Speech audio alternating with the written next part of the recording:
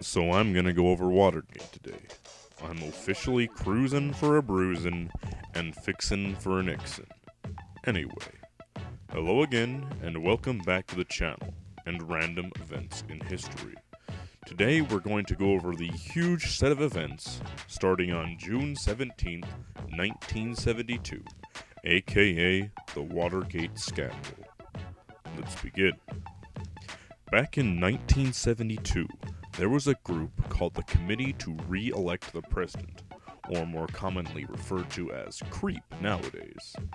The group, as their name states, were created to help get acting President Richard Milhous Nixon re elected, and it seems they were willing to do just about anything to make that happen. May 1972 is when CREEP initially stole copies of secret documents and taped the offices at the Democratic National Committee's headquarters in the Watergate Hotel. But it's when they returned on June 17, 1972, to fix the wiretaps that they were caught. However, Nixon swore that he and the White House staff were not involved, and in November he was reelected in one of the most one sided races in political history. For a short while, that was it. But eventually, people started to question the president's said lack of involvement, especially after a trail of so called hush money to keep those involved quiet was discovered. Things only escalated from there when it came to light that President Nixon taped all of his conversations in the Oval Office.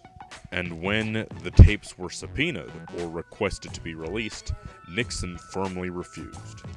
Things went further with the events of October 20th, 1973, also known as the Saturday Night Massacre, when the President commanded the Attorney General and his deputy to fire the one subpoenaing the tape, and after refusing, they resigned.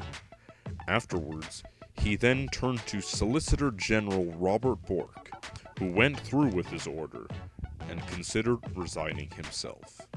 It was on March 1st, 1974, when Nixon was named an official, unindicted co conspirator, and things began to fall apart. Transcripts were released from the tapes on April 29, 1974, and while initially Nixon was supported, the support quickly vanished as the transcripts were read and more and more called for his resignation. Putting a halt on things for a minute, it's worth mentioning that one of the tapes released had 18 and a half minutes of audio erased. While his personal security claimed it was an accident, it seems really, really unlikely.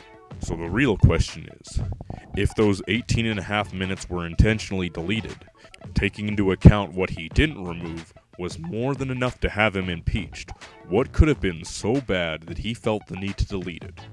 We probably will never know. Moving on, the tape released on August 5th, 1974, was The Smoking Gun Against the President.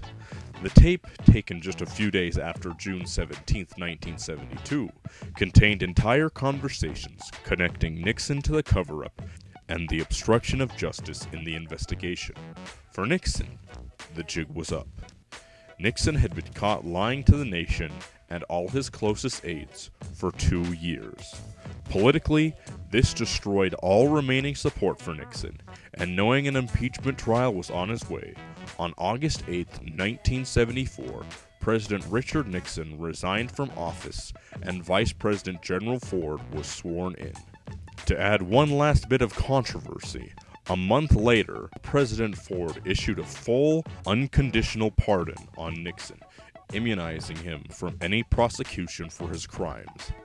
Despite this, Nixon proclaimed his innocence up until his death in 1994. The Watergate scandal rocked the nation to its very core and dramatically shook up support for government officials that to this day has not been entirely restored. Watergate will forever be known as the biggest presidential scandal in history and will be remembered forever. Man, I could talk about Watergate Nixon for hours. But thank you for watching, and thanks for the support. Let me know if you have any suggestions, as I'm always open. Thanks again, have a good night, and see you again for another random event in history.